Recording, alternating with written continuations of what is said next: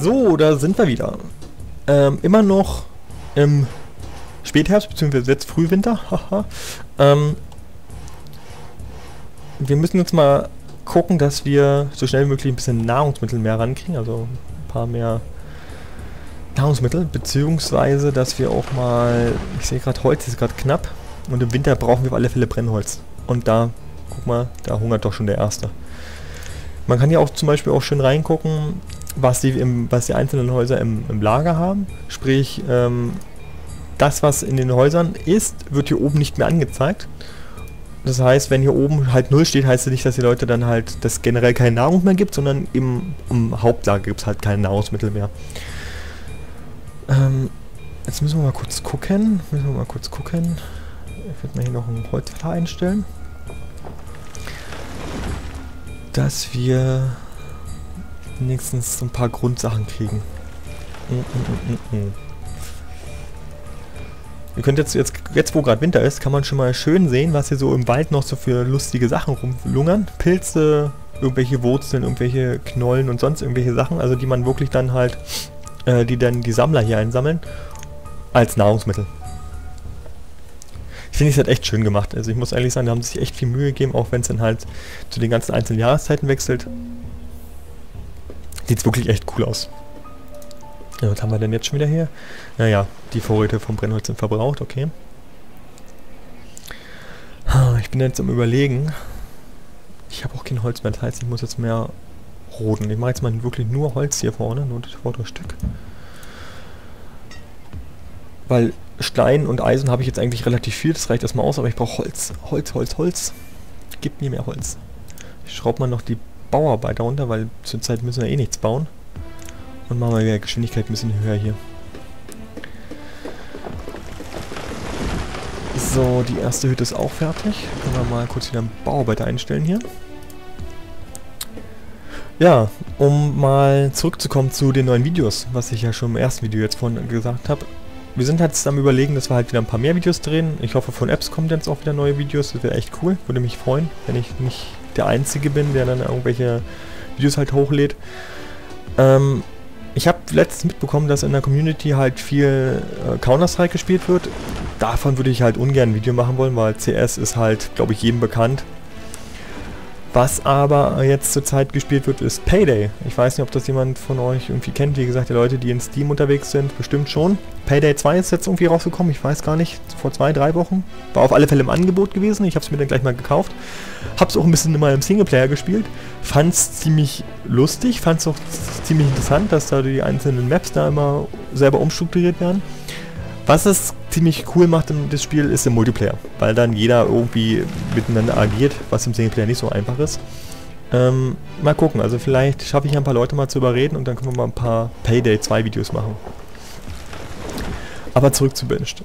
Ähm, hier will ich jetzt noch Felder anbauen, vor allem jetzt, wenn es jetzt gleich Frühling wird, möchte ich ein paar Felder haben, dass wir ein paar Ressourcen anbauen können, ein bisschen Nahrung und sowas.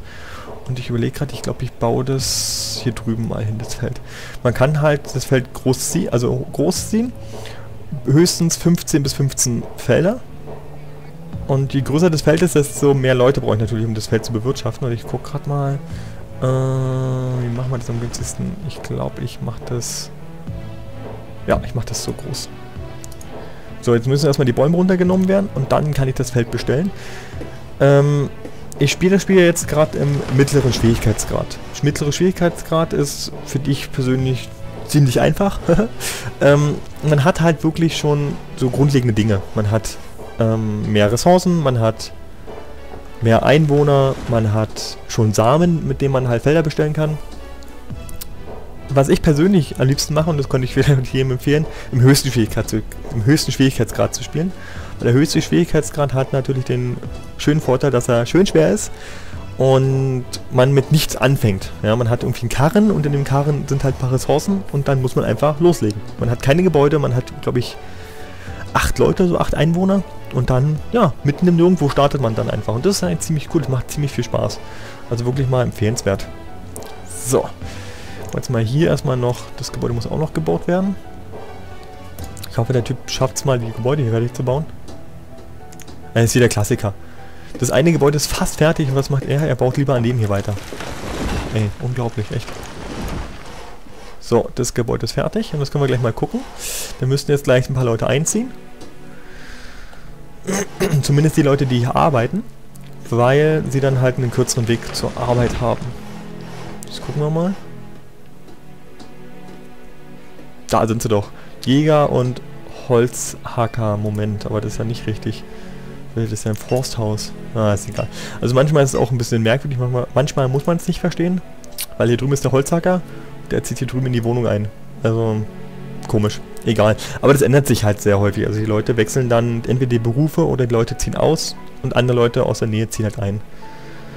Wir können dann später nochmal reingucken. So, Frühlingsanfang. Und das Feld ist immer noch nicht fertig. Okay. Macht mal hin hier. Ich werde mal kurz sagen, dass die aufhören sollen, hier die Bäume zu fällen. So, das habe ich jetzt mal abgebrochen dass die dann einfach mal hier drüben anfangen, weiter die Bäume zu fällen. Weil für mich ist jetzt wichtig, dass wir mehr Nahrungsmittel kriegen, weil wir haben kaum was. Und das muss jetzt mal losgehen hier. Schön ist auch, dass die Bäume nicht alle gerade wachsen, sondern dass es wirklich, ja, da viel Wert gelegt wird, dass die Bäume einfach, dass einfach die Natur aussieht wie die Natur. Echt cool. So, und jetzt fängt alles an zu blühen. Frühlingsanfang.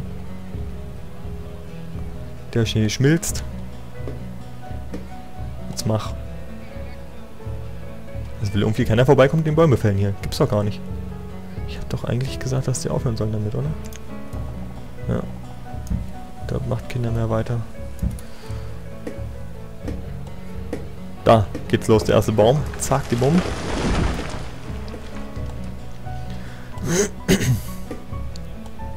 So. Wir müssen mal aufhören, dass sie hier das beliefern, auch wenn ich Klamotten brauche. Die müssen jetzt erstmal echt diesen verdammten, das verdammte Feld anfangen. So, die Hütte ist auch fast fertig. So, man kann jetzt hier oben schön erkennen in der Schnellleiste, äh, die Gesundheit der, der Einwohner sinkt. Im Durchschnitt halt und auch die Zufriedenheit sinkt, weil ich einfach wirklich kaum Nahrung habe, weil die Leute frieren. Ja, die Leute haben einfach nichts, die sind einfach arm. So, und das können wir jetzt ändern, indem wir hier einfach mal das Feld bestellen. Dann gucken wir mal, was wir da haben. Großer Kürbis. Na super. Na egal. Besser als nichts, sage ich immer. Zwei Leute aufs Feld und dann geht's los. Dann suchen sich jetzt in der Nähe Leute ähm, Arbeit. Also beziehungsweise Arbeitslose, beziehungsweise normale Arbeiter suchen sich jetzt hier einen Job. Und jetzt gucken wir mal ganz kurz, man kann halt immer nachvollziehen, von wo die Leute herkommen. So, und die beiden Leute kommen hier aus der Hütte da raus. Und so kann man halt auch immer überprüfen, wie gesagt, wie, ob die Wege zu weit sind, wie man jetzt mal hier guckt. Der läuft jetzt von da drüben, ist okay, von der Entfernung her. Der kommt von da und der kommt von hier drüben. Also geht eigentlich. Dann kann man sich nämlich immer noch überlegen, ob man irgendwie, ähm, ja, wie ihr gerade gesehen habt, hat sich jetzt einfach mal, die Leute haben jetzt einfach mal gewechselt. Das passiert halt wirklich ab und zu mal. Ähm, nee, man kann dann wirklich relativ gut überprüfen, okay, haben die Leute zu weit, muss sie mehr Häuser bauen oder was, was kann man jetzt ändern, dass halt, dass es einfach vorangeht. Und wie man jetzt hier oben sieht, ich habe jetzt schon 16 Arbeiter und 8 Kinder. Der mittelste ist halt Schüler. Schüler sind halt dann, ja, quasi Kinder, die zur Schule gehen, haha. Ähm, wenn ich Schüler habe, dann sind sie als Erwachsene, als quasi als ausgewachsene Menschen, als erwachsene Menschen sind sie dann einfach produktiver. So, wo sind denn meine Feldarbeiter, meine Bauern? Kommt her. Da ist er. Da ist schon die erste. Äh, ihr jetzt gerade? Die hakt ein bisschen im Boden rum und kriegt Nahrungsmittel. Sehr schön. So, jetzt geht's los. Jetzt fangen sie an, hier an den Feldern rumzuwirtschaften. Und dann kann man hier schön sehen, wie hoch der Ertrag ist. Wenn der Ertrag zu 100%, fangen die Leute an, oder wenn der Ertrag 100% erträgt, dann fangen die Leute an, das Feld abzuernten automatisch. Und meist fangen sie dann natürlich auch zu bestimmten Jahreszeiten an abzuernten, wenn es dann halt üblich ist, die Ressource halt abzuernten. Also man kann jetzt, ich habe jetzt erst großen Kürbis, man kann sich halt noch mehr Sachen äh, erhandeln. Und wenn ich dann noch mehr Sachen erhandelt habe, kann ich halt, oder beziehungsweise muss ich, meine Felder halt auch immer wechseln. Weil wie halt äh, in, der Realität, in der Realität es auch so ist, muss ich halt Felder mit immer unterschiedlichen Dingen bewirtschaften. Sprich, man spricht ja dort immer von der drei Felderwirtschaft, äh, drei Felderwirtschaft, glaube ich, spricht man davon irgendwie. Jetzt werden mich wahrscheinlich viele Leute ausbuhen, dass ich es nicht genau weiß. Auf alle Fälle ist es so, dass man die Felder im Dreijahreszyklus immer anders bestellt, mit unterschiedlichen, mit unterschiedlichen Früchten bzw. Ressourcen halt, ähm, um ja, das, den Boden halt nicht zu übersäuern. Und das ist in dem Spiel halt auch so. Das heißt, wenn ich jetzt drei Jahre lang hintereinander diesen großen Kürbis ähm, anbaue, dann wird mein Ertrag immer weiter sinken, weil der Boden einfach übersäuert ist, weil der Boden einfach übersättigt ist. Deswegen sollte man halt immer gucken, dass man wirklich alle, alle jedes Jahr immer wechselt und je mehr ähm, Samen man hat, desto mehr kann man halt wechseln. Desto mehr bringt man auch seiner Bevölkerung unterschiedliche Nahrungsmittel zu. Das ist schon echt nicht verkehrt. Das bringt natürlich wieder Zufriedenheit und dann leben die Leute auch länger, wenn sie halt unterschiedliche Produkte haben zum Essen. Also muss man schon echt darauf achten, dass man da sich ausgewogen ernährt.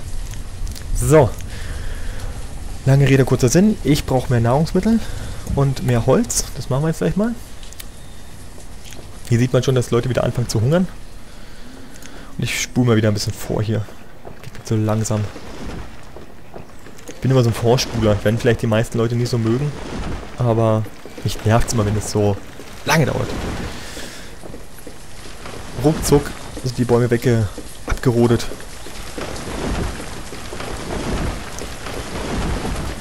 So. Na, was fehlt uns jetzt schon wieder? Holzfreude, ist knapp, ne? Ist ja klar. So, man kann hier schon mal schön sehen, das Feld wächst und wächst. Super Sache. wie gesagt, wenn unterschiedliche Produkte oder unterschiedliche Dinge angepflanzt werden, dann sehen die natürlich unterschiedlich aus, die Felder. So, so, so, so, so. Äh, ich überlege gerade, was machen wir jetzt am günstigsten? Was wäre jetzt wichtig? Wichtig ist, glaube ich, erstmal Ressourcen. Ich glaube, darauf werden wir jetzt erstmal spezialisieren, dass wir erstmal einfach nur richtig viele Ressourcen uns besorgen. Aufi, Einfach mal hier alles wegroden, was man so findet. Dann spulen wir ein bisschen vor hier.